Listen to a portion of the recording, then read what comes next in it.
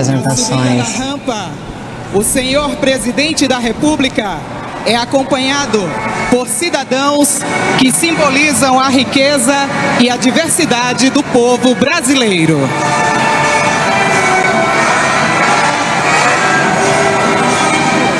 O presidente Luiz Inácio Lula da Silva recebe a faixa presidencial das mãos do povo brasileiro.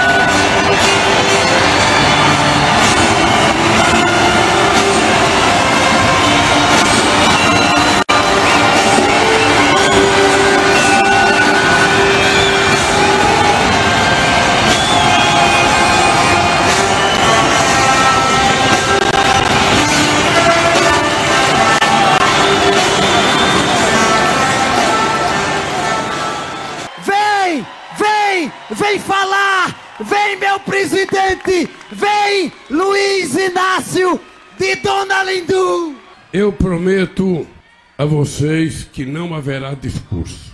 Primeiro, porque já fiz dois discursos hoje. Segundo, porque o Marinho deu um show extraordinário com a sabedoria que ele trouxe de São José do Egito. Terceiro, porque vocês estão numa festa. E vocês estão desde as 11 horas da manhã participando dessa festa.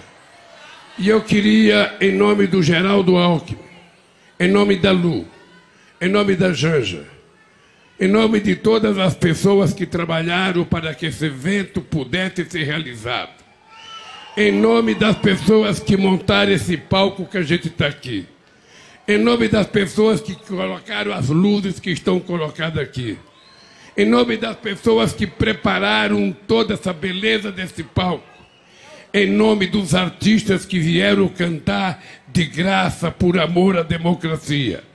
E em nome de cada um de vocês, mulheres e homens de todo o recanto do Brasil, obrigado por vocês existirem. Obrigado por vocês fazerem o que vocês fizeram. Eu digo todo santo dia. Eu tenho certeza, Alckmin, que tem o dedo de Deus na minha cabeça. Porque não é possível passar pelo que eu passei, sofri o que eu sofri, e por causa de vocês, eu estou aqui outra vez, subindo a rampa do Palácio do Planalto para mostrar a vocês que é possível nós consertarmos esse país. Serão revogados nos próximos dias as portarias e notas técnicas que ofendem a ciência, os direitos humanos, os direitos sexuais reprodutivos.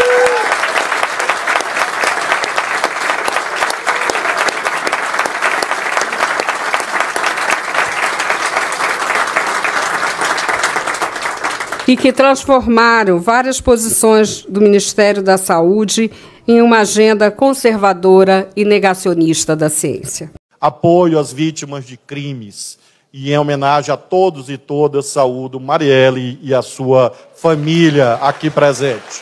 Disse a ministra Aniele e a sua mãe que é uma questão de honra do Estado brasileiro empreender todos os esforços possíveis e cabíveis, e a Polícia Federal assim atuará para que esse crime seja desvendado definitivamente e nós saibamos quem matou Marielle e quem mandou matar Marielle Franco naquele dia no Rio de Janeiro. É, resposta, você falou que é de tudo bem que você é, trouxe para o povo brasileiro, que criou uma sociedade é, que alcançou um nível de vida maior. Você não tem a impressão que você criou cidadãos ou criou consumidores? Veja, é que não existe, é que não existe cidadão se ele não consegue consumir o que comer. Não existe consumidor se ele não puder ter acesso ao café da manhã, o almoço e a janta. Se ele não puder ter acesso a uma casinha, a uma televisão, a um computador, a uma geladeira. Esse é o consumo necessário que todo ser humano tem que ter direito. Eu não quero criar, eu não quero criar uma sociedade em que as pessoas não tenham nada para comer, não tenham televisão, não tenham geladeira, não tenham roupa, não tenham nada. Isso não é democracia. Então. Mas essas pessoas vivem com muitos créditos. Veja, eu prefiro que a pessoa, eu prefiro que a pessoa não goste de mim, comendo três vezes ao dia, trabalhando, tendo acesso a uma universidade de qualidade, do que as pessoas gostarem de mim não ter nada disso. Sabe?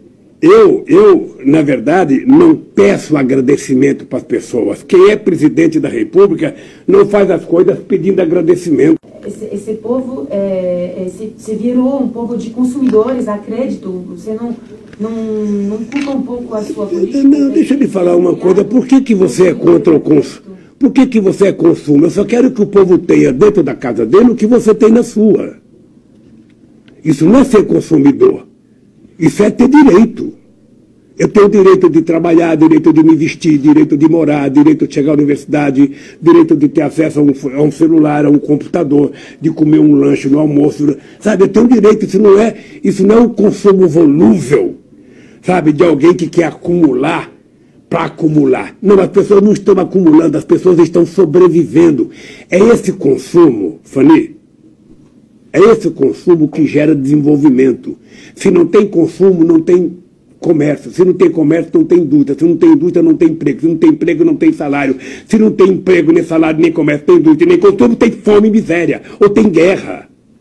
Então, quando você eleva os mais pobres a serem consumidores, você está desenvolvendo não apenas a qualidade de vida dele enquanto consumidor, mas você está desenvolvendo o comércio e a indústria, a geração de emprego e a criação de novas empresas. Nenhuma empresa se implantará na França se não tiver consumo para o produto que ela produz. Da mesma forma que nenhuma empresa virá para o Brasil se não tiver consumo. Sabe, aqui no Brasil é porque o juro é alto, porque o juro é alto. O Japão tem juros negativos há mais de 10 anos, a economia japonesa não cresce. Ora, o que faz uma economia crescer é o poder de consumo da sociedade e a credibilidade e a previsibilidade imposta pelo governo. Sabe, o governo serve para isso, para que as pessoas acreditem ele tem que funcionar como uma espécie de indutor. Aqui no Brasil estão privatizando as empresas brasileiras e que está comprando são as empresas estatais francesas. Aqui no Brasil estão vendendo empresas brasileiras e que está comprando são as estatais chinesas. Sabe? É assim. Então esse país está perdendo a sua soberania porque o novo presidente não é uma figura que impõe respeito. É isso. Então o que eu proponho é o seguinte: né? é que o povo brasileiro possa consumir aquilo que ele produz, que possa comprar aquilo que ele precisa e que possa viver dignamente. Porque sem consumo você não tem sociedade.